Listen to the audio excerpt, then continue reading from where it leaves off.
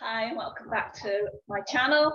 Um, today we're going to look at something different to an actual, um, something, sorry, my dogs are joining, these are my therapies. Um, we're going to use the other one. Hang on just a sec. Oh, there she is. Go on, go and find a seat, you two, so I can talk. Um, so, uh, girls, no fighting. Um, so we're looking at neurofeedback today. I have had to keep one of them, sorry. Um, we're looking at neurofeedback today because it is a way, it's uh, training the brain actually, and it's certainly I found that it's worked with the students that I've had who've had challenging behaviour, emotional and behavioural difficulties, depression, um, childhood bipolar syndrome, um, ADHD. So it has certainly helped children with those conditions that I have worked with in the past. Um, it's been a great help actually, and certainly one of the students, his carer came in to see me after he'd only been using the system for 10 days to say that the change in um, the child was huge and he was now able to reason things out. He hadn't slept through the night before, bearing in mind he was 10 years old, he hadn't slept through the night and neurofeedback had enabled him to do that. In fact, she would stand at the bedroom door watching him sleep because it was such a change. He also was able to reason out. So when he was challenged by, by another child, um, he said that um, it was wrong and they shouldn't fight. Um, and he had managed to reason out things in his mind for himself. So it helped him tremendously and carried on um, helping him um, long after he'd um, finished having the brain training, which for him went on for about a year. But his behaviour incidences went down from 30 incidences a week to at the most three incidences a month.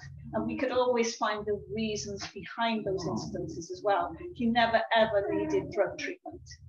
So um, I found, that's just one instance, but I've certain, certainly found with all students that received neurofeedback for which it was deemed appropriate, um, it worked. So um, there's many videos that you can find on, um, on YouTube um, about brain training.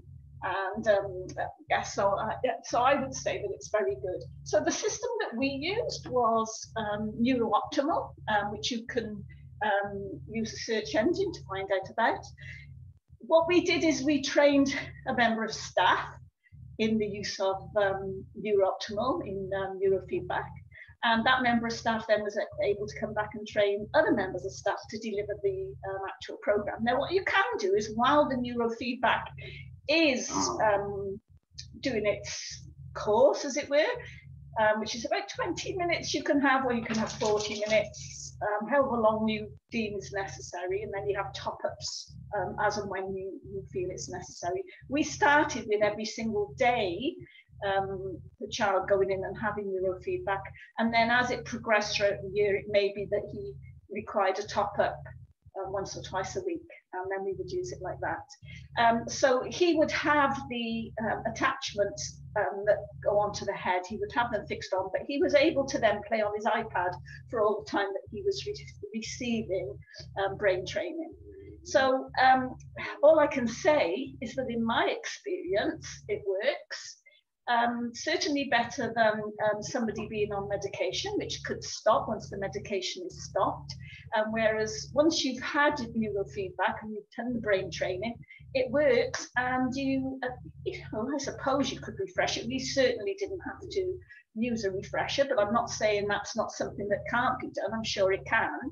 Um, so I just wanted to let you know about that. So there are, um, I may have said already, on YouTube, certainly some um, people who are using it regularly that you'll be able to see it in action um, if you just um, search for it. So you can search under brain training or you can search under neurofeedback or possibly even under NeurOptimal, which is the one that we used. Um, so, um, oh, and the trainer who trained my member of staff found that um, he also his wife also trained in it because she was um, a, um, supporting students with dyslexia in the, in the, traditional methods of supporting them. And, and I certainly in my past uh, supported students with um, dyslexia. And she used the traditional methods but once she tried the brain training the, the neurofeedback um, she found that that worked faster and just as well, if not better, than the traditional methods of um, that she'd used in the past. So all in all, um, this is just a short um, video from my channel recommending that this is another possibility that you might want to try um, to get for your child, which is neurofeedback training. Perhaps instead of a different kind of therapy, this might work for your child better. Okay, so it's all about finding what works. Take care. Bye.